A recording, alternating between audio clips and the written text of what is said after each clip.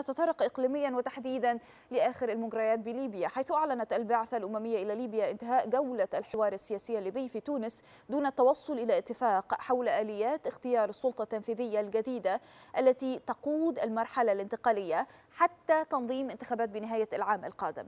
وقالت المبعوثة الأممية إلى ليبيا أنه تقرر عقد جولة جديدة من الحوار الأسبوع المقبل عبر الفيديو كونفرنس دعونا المزيد من التفاصيل نستقبل عبر الهاتف الكاتب الصحفي أستاذ علي طرفاي. أستاذ علي أهلا بك معنا على إكسترا نيوز أهلا وسهلا.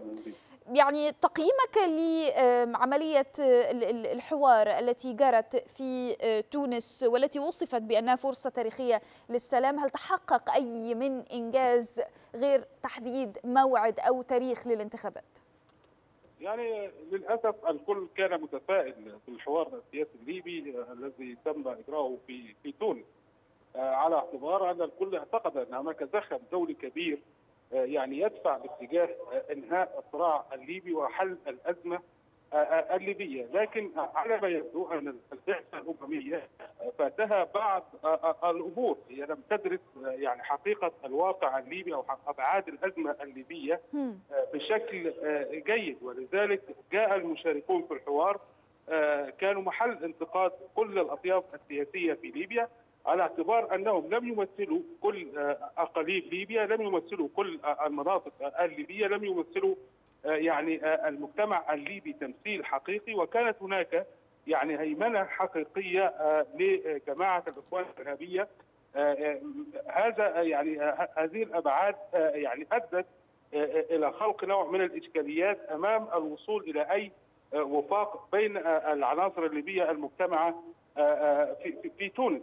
يعني كان ينبغي أن يكون الحوار أكثر شمولية، أكثر تمثيلا للمجتمع الليبي، نحن نعرف أن المجتمع الليبي ليس لديه أي قاعدة شعبية تمثل تيار جماعة الإخوان الإرهابية، لكن نعم. المال السياسي الفاسد وتدخل بعض الأطراف الإقليمية التي تسعى يعني وتجتهد من أجل أن تستمر الأزمة الليبية بهدف أستاذ علي هل فشل هذه المفاوضات أو هذا الحوار في تونس له علاقة بالتمثيل غير المناسب للأطراف الليبية أم له علاقة أيضا بعدم تناول الملفات الأخطر على على الأمن الداخلي لليبيا فيما يتعلق بالتخلص من الميليشيات الكامنة في الداخل الليبي وهي الأخطر ربما على الأمن وعلى الحياة السياسية وعلى استكمال أي طريق سياسي يحفظ هذا البلد.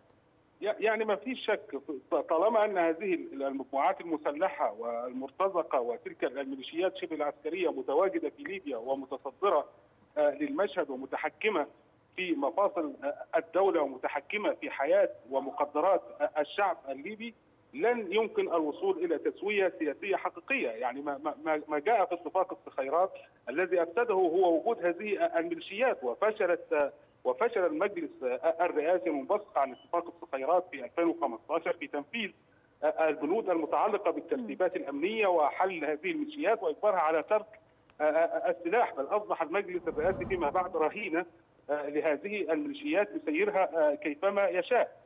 للأسف للأسف يتم تم اختيار المجتمعين ال 75 المشاركين في في الحوار السياسي الليبي في في تونس من قبل مراكز دراسات أجنبية. وهذه المراكز مراكز أهلية تعتمد بشكل أو بآخر على التمويل من بعض الدول. أوه. وهي بعيدة كل البعد عن طبيعة المجتمع الدولي. لابد أن يكون هناك لجنة خبراء مشكلة من عناصر سياسية أو كوادر سياسية من دول الجوار الليبي وعناصر ليبية على دراية بأبعاد الأزمة الليبية وعلى دراية بالمجتمع الليبي.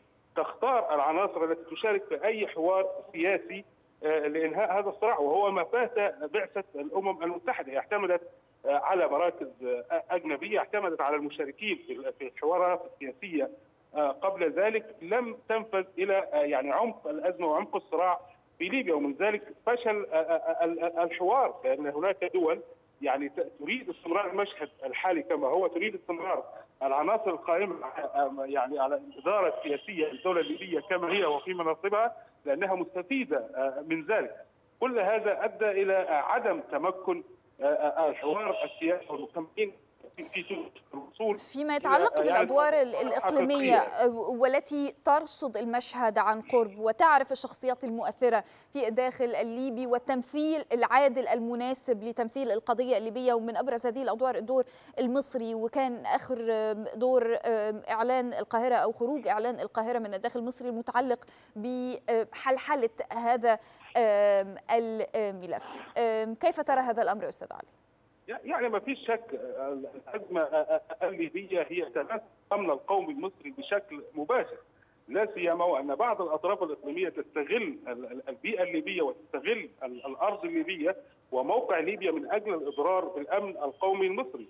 فمصر معنية بشكل أو بآخر بالأزمة الليبية. ولكن لدى مصر محددات محترمة تحكم يعني تدخلها في في من أجل إنهاء هذا الصراع. أولها احترام إرادة الشعب الليبي الحرص على وحدة وسلامة الأراضي الليبية تمكين الشعب الليبي من مقدرات بلاده الوصول إلى يعني دولة متكاملة بكامل مؤسساتها وحدة المؤسسات الأمنية والعسكرية.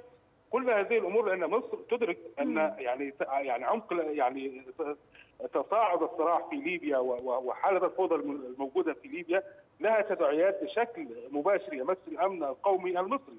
فضلا عن العلاقات التاريخية ما بين مصر وليبيا. فمصر معنية أكثر من أي دولة أخرى بإنهاء الصراع الليبية. من هنا نعم. كانت مبادرة القاهرة والتي لاقت يعني ترحيب من من الدول من المجتمع الدولي ومن الدول الغربية ومن الليبيين والفرقاء الليبيين ووضعت اسس لإنهاء هذا الصراع. تحدثت عن مجلس رئاسي جديد بثلاث رؤوس نعم. وهو ما تم التطرق إليه في الحوار السياسي في تونس.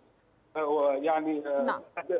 تطرقت إلى وحدة المؤسسة العسكرية إلى انتخابات رئاسية إلى الاحتكام لصندوق الانتخابات على اعتبار أنه الفيصل لإنهاء كل هذه إلى محاربة الإرهاب إلى حق المجتمع الليبي في محاربة الإرهاب.